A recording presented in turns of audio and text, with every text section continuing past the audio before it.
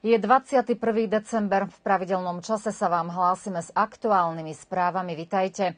Prezident Aleksandar Vučič obišiel dnes záverečné práce výstavby viaduktu pri Vrbase. Viadukt sa nachádza na treťom úseku medzinárodnej vysokorýchlostnej železnice z Belehradu do Budapešti.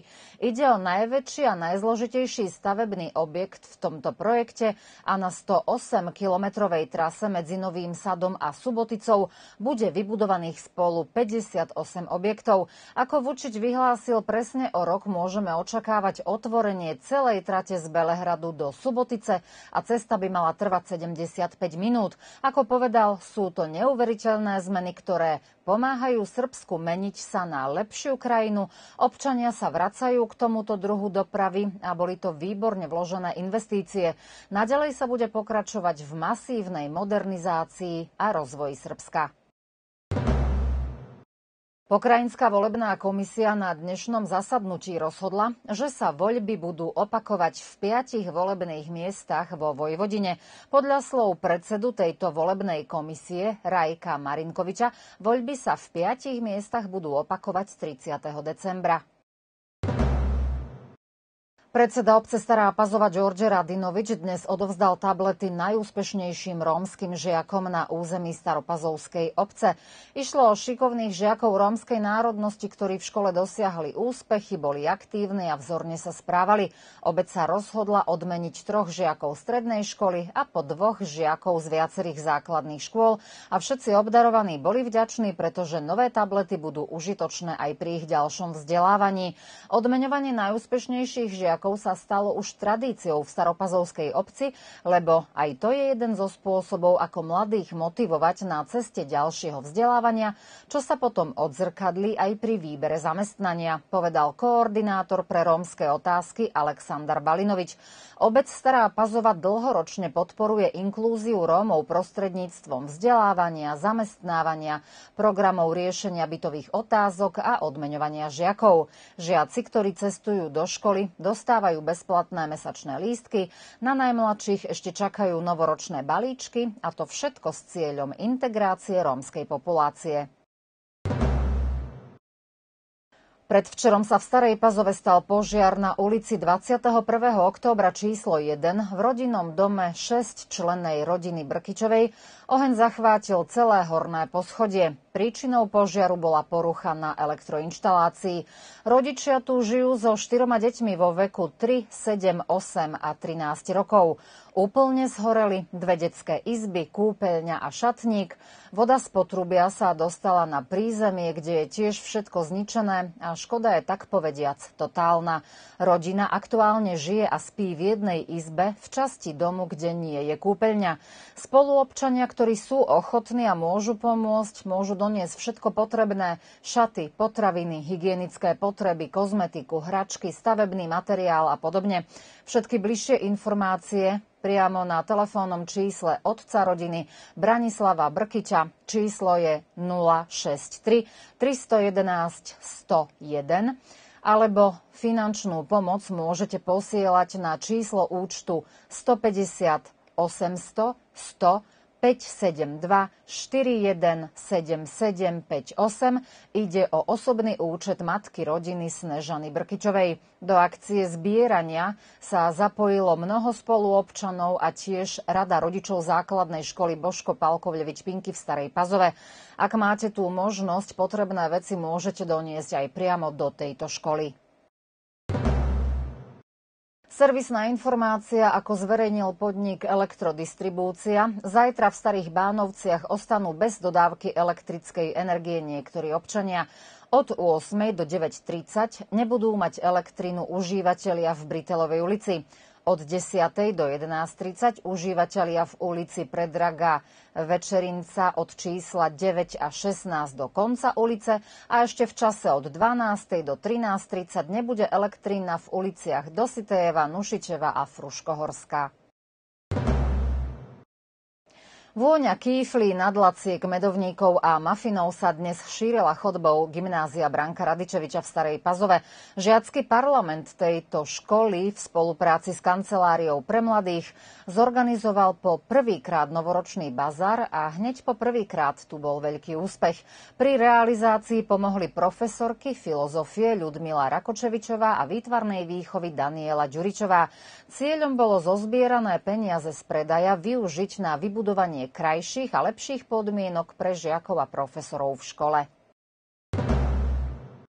Následujú kultúrne pozvánky na následujúce dni. Tradičné hudobno-zábavné podujatie pre deti, 16. ročník zimných čarolí, ktoré organizuje Stredisko kultúry Stará Pazova, sa bude konať zajtra, 22. decembra so začiatkom o 17. hodine. V programe okrem známeho Baneta Rosiča vystúpia aj talentované deti zo Staropazovskej obce. Začiatok je zajtra o 17. hodine v divadle v Starej Pazove, vstupné 300 dinárov.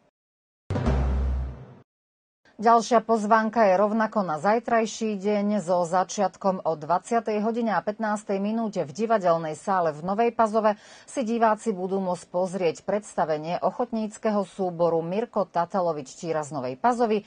Hrá má názov Čuješ Majko môj vapaj. Hra mala premiéru koncom novembra. Režiroval ju Alexander Bako podľa textu Vojislava Saviča a herecky sa tu podieľajú herci z Novej Pazovy, Starej Pazovy, Golubiniec a Indie.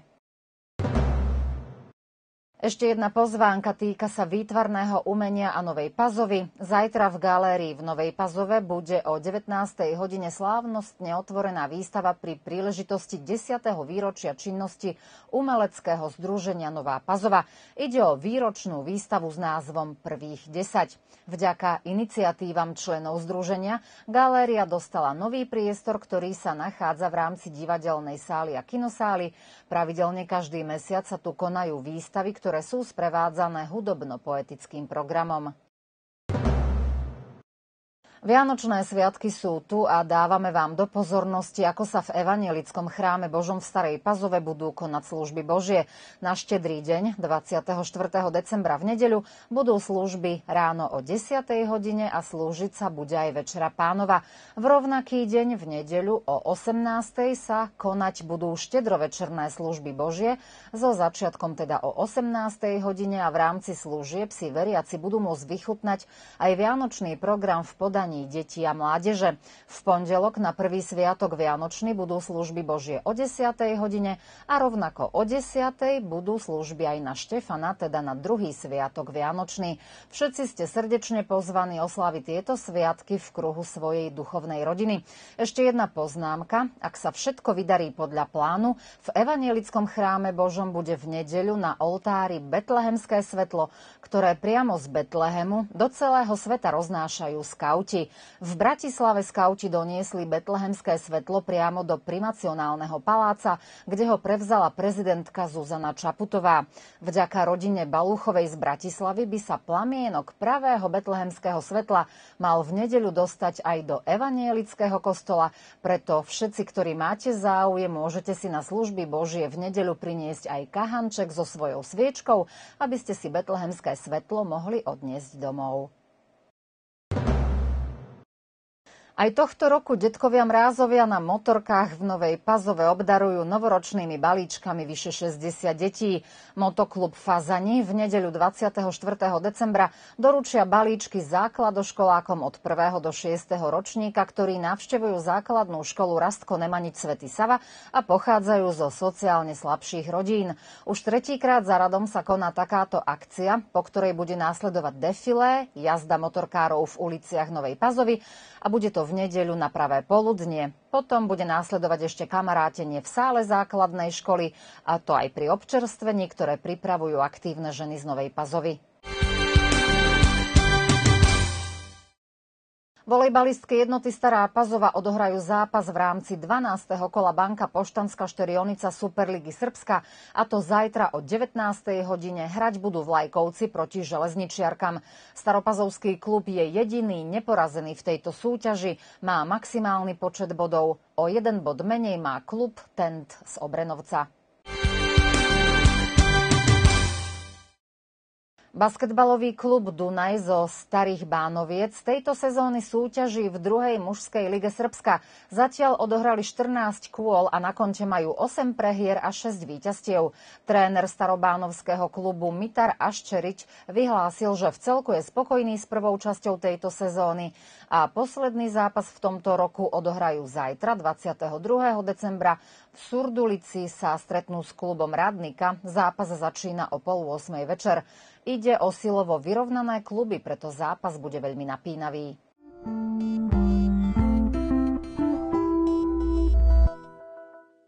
Podľa odborníkov na počasie v piatok by sme sa mali zobudiť do daždivého rána, ale pred obedom sa vyčasí a do konca dňa bude už len oblačno, bez zrážok a aj bez slnka. Hodnoty na teplomery sa budú pohybovať v rozpeti od 3 do 9 stupňov a mierny vietor pocítime prevažne zo západnej strany. A ešte štyri mená na záver. Vo Vojvodine meniny dnes oslavujú páni Bohdan a Tomáš, zajtra dámy Adela a Etela. Všetko najlepšie. Štvrtkové správy končia. Príjemný zvyšok dňa.